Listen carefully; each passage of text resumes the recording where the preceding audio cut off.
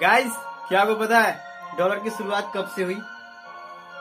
चलिए मैं बताता हूँ।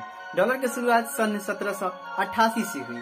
यदि ये फैक्ट सुनकर आपको अच्छा लगा हो तो कमेंट सेक्शन में कमेंट करें और सब्सक्राइब बटन दबा के सब्सक्राइब कर ले, ताकि ऐसे ही वीडियो आप तक पहुँचती रहे।